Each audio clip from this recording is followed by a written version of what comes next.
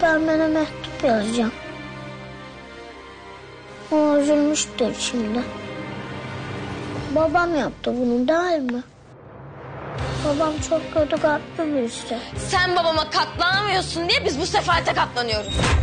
O bizim babamız anne. Ya bize zarar verebilecek son kişi o. İçeri tıkacağım seni. Canını yaktığın her insanın ayrı ayrı hesabını vereceksin. Başımıza ne gelirse gelsin. Sen benim ilk ve son aşkımsın. Kadir!